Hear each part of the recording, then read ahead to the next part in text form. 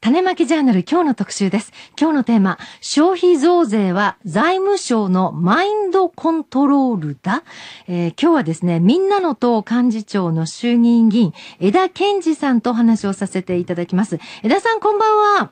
どうもこんばんは。はじめまして、水野と申します。よろしくお願いします。毎日新聞の平野です。よろしくお願いします。どしくお願いします。枝さんはですね、こういうご本を出し出していらっしゃいます。財務省のマインドコントロールというご本を出していらっしゃって、私も大変面白く読ませていただきました。ありがとうございますぞどういうマインドコントロールかって伺う前に、まず伺いたいのはね、ええあの、週末にこの消費税増税で民主党、自民党、公明党3党で合意なさいました。で、ええ。その消費税増税すべきかどうかという議論の前に、ええ。なんでこうやって3つの党でどんどんどんどんなんか決ま決まっていくような流れってできちゃうんですか、枝さんら申し訳ないですけど、出る幕ないやないですか。うーん、ちょっとやっぱりね、ええ。これ国会はやっぱりあの数っていうものが言いますからね。うん。これもうはっきりとこれ3党で合意しちゃったら9割の議席を占めてるんですよ。はそれからまあ我々、まあ、まだまだ小16議席で、うん。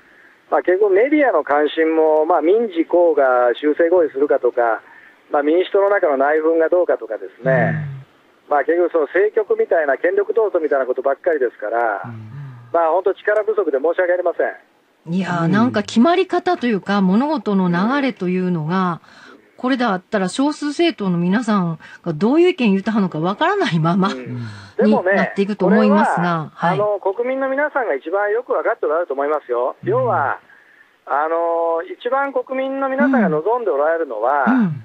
まあ、あの社会保障の抜本改革というか、ええ。まあ、はっきり言うと100年、本当の意味で100年安心の医療や年金制度をね、ええ。まあ、確立してくださいと、はい。まあ、そのためなら多少ね、お金を出してもいいですみたいな気持ちがあったのに、うん。まあ、この合意っていうのは、はっきり言って1年先にね、うん。この肝心のその社会保障は先送りして、まあ、とにかく増税だけ決め先に決めましょうっていう話ですから。やっぱりそうですよね。で、ええこれについてね、あの、このまま消費税が上がったらどうなるんだということで、ご質問がたくさん来ているんです。はい。まずはラジオネームトップハンデさんっていう方、あるいは問われているのは国民だっていうラジオネームの方はですね、ええあの、消費税の税率をアップしたら、ええまあ、物を買いたいっていう消費マインドが冷えてしまって、ええ。結局、税から入ってくる収入、税収はええ。落ちてしまうなんてことないですか？って。これはもう私がずっとこの本でも、はあ。国会の,、まああの予算委員会、特別委員会でも一貫して言ってるんですけどね、えこれまさにあのおっしゃる通りあの今、デフレで景気が悪い時え。に、うん。増税してもですね、逆に景気が悪くなってあの税収が下がると、うん。でこれはあの実はあの97年の4月にですね、ええ。消費税を3から5に上げましたよね。うん。で私、実はその時には官邸で橋本総理の秘書官をやってたんですが、橋本龍太郎さんのところの、うんはい、首相補佐官をなさってました。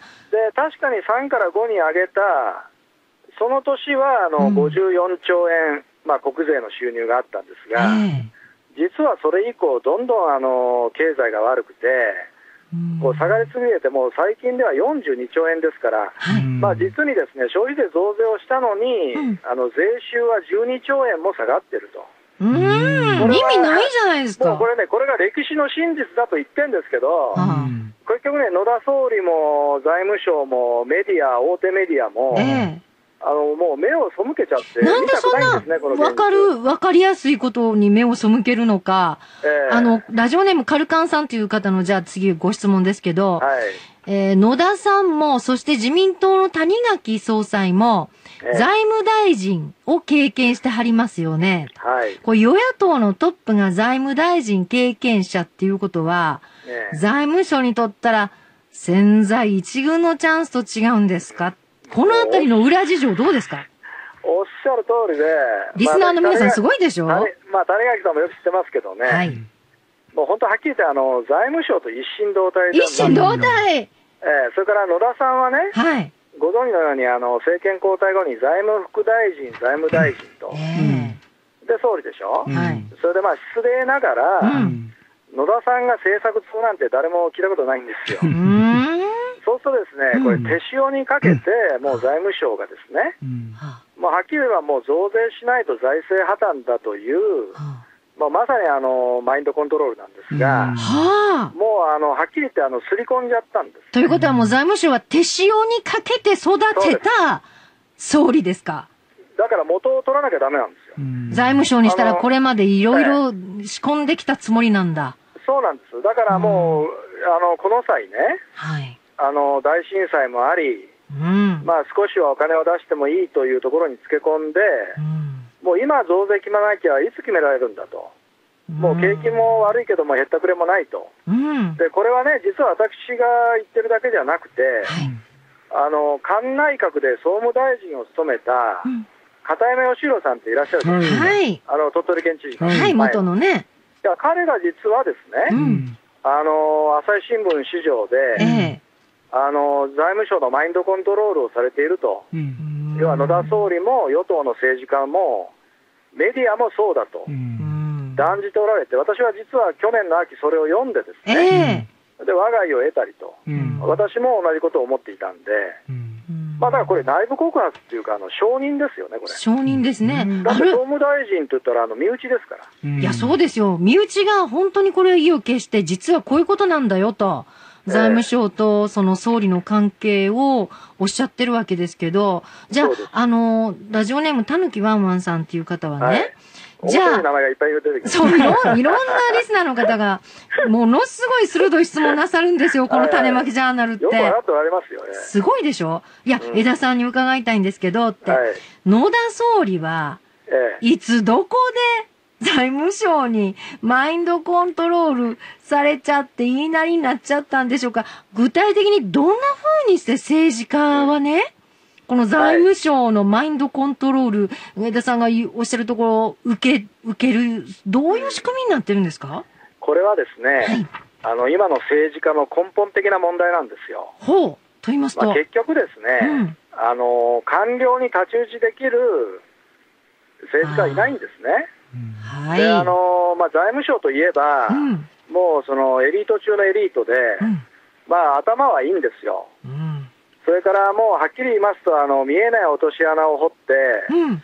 政治家を騙す騙すテクニックは満載なんですね。あの、失礼ですけど、枝さんももともと官僚ですよね。だから私自身が昔騙してましたから、今の現在、あの、経済産業省である通産省に、東大法学部を出て入られた枝さんですから、それはもう、あの、官僚の裏のいろんな手はご存知やと思います。もうね、手の内は全部知ってますから、例えば、どうやって騙すっていうかね、どええどうやって政治家を取り込んでいくんですか、官僚。あのね、結局ですね、あのーテレビで偉そうなことを言ってる政治家も、うん。例えば議員会館で5分、10分役人がですね、うん。5、6人で囲んで、まあ、レクチャーといって。ご説明をするとですね、ご説明に上がりますって言うんですか、ええええでもそれはレクチャーなんですね。そうはい。普通の政治家ほとんどみんなそれで、あコロッと言っちゃうんですよ。ええそれなぜかというと、はあ結局ですね、こういった財政とか金融とかに通じている政治家が一人もいないんですよ。うーん。だからね、これ、もっともらしく説明されちゃうと、うん。本気で今、野田さんにはあのはっきりあの確かなことは、うん。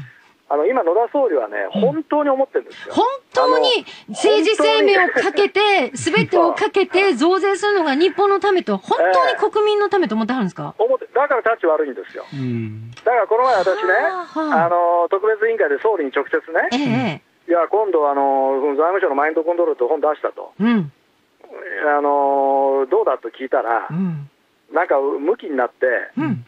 いや、私がマインドコントロールされてるなんてありえません。うんいやだけど、マインドコントロールされてる人がね、マインドコントロールされてるとは絶対言いませんそかららそうですわ。言うたらもうマインドコントロール解けますから。えーでもね、そこは皆さんね、かまあ、これもうリスナーの人は一番よく分かってますよ、この番組いや、の。本当に皆さん見えてるんですよ。いや、あのねそしたら、今ねええ、えちょっとすいませえ、ん、どうぞ。言わせてください、あのはね、今、今、デフレで景気が悪いでしょ、うん。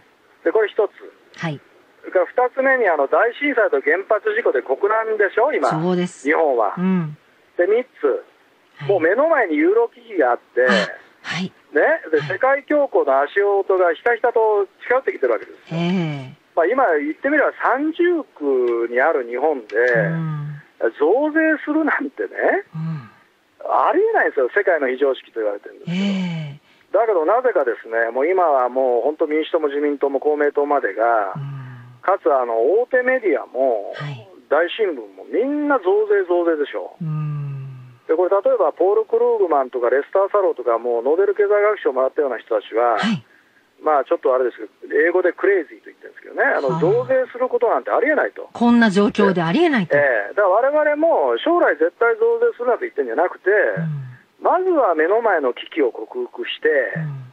復興、復旧やって、それからデフレから脱却して、経済を成長してですえね、えそれでやっぱりあの増税に耐えられる体力をつけないと、うんダメだでしょ。そのね、ええ。江田さんのご本の中にもありましたけど、社会保障をええ。増税で賄うなんていう国はどこにもないって、ありません。